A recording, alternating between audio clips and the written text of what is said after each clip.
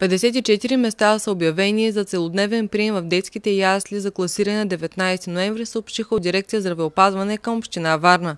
В тази връзка електронната система за прием ще бъде затворена за редакции и регистрации на нови заявления от 17 ноември до 19 ноември включително.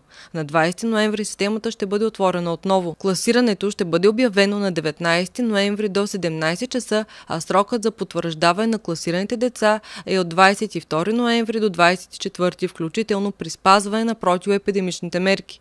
Децата ще се приемат по предварително изготвен график от директора на съответната детска ясла съобразно епидемичната обстановка.